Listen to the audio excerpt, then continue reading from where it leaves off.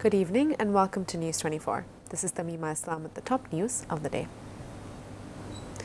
Prime Minister Sheikh Hasina has said that natural calamities like floods would continue to come to Bangladesh. Therefore, she emphasized on regular river dredging and building flood intolerant infrastructure.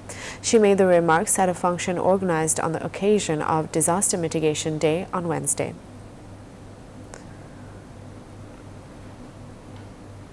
BNP Secretary General Mirza Fakhrul Islam Alamgir said Begum Khaleda Zia was suffering from fever for the past few days and was admitted to the hospital on Tuesday to identify the cause. He made the remarks at a discussion meeting at Dhaka Reporters Unity Auditorium on Wednesday.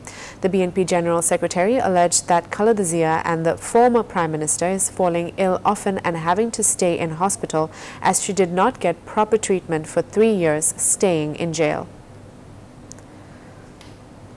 The corona vaccination program for children aged 12 to 17 years is starting from Thursday onwards.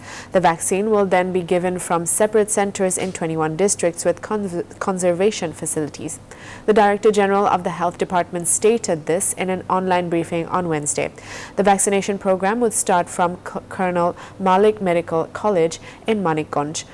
Meanwhile, in the last 24 hours, 17 people have died of COVID-19 in the country, according to a press release disclosed by the Directorate General of Health Services, DGHS.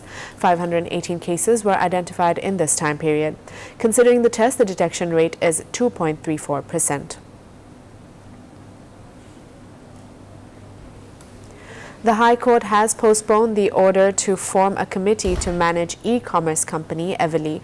The court will order next week to review the persons proposed for the committee.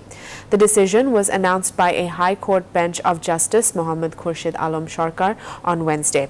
The Ministry of Commerce suggested three people for the committee, a person between former Secretary of the Local Government and Rural Development Department, Rezal Ahsan, former Secretary of the Land Reform Board, Yaqub Ali Patwari, and former former Secretary of the Land Ministry, Makshudur Rahman Patwari, might be included in the committee.